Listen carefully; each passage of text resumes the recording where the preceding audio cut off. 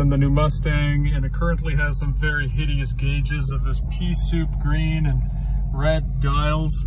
Uh, let's take a look because uh, there's a huge number of choices.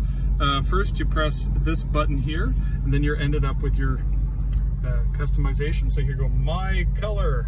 Uh, the bottom line is your secondary color, so uh, more of your gauges. And so here we can select something else that's kind of bad.